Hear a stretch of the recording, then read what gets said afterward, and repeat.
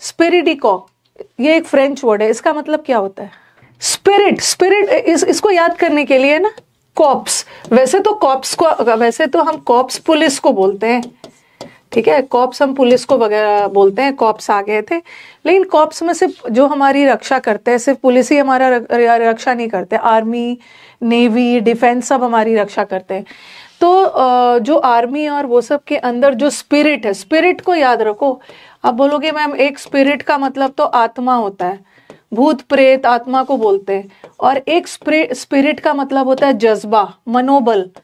जैसे बोलते हैं ना ऑलवेज लाइफ में हाई स्पिरिटेड रहना चाहिए। आपकी स्पिरिट हमेशा हाई होनी चाहिए।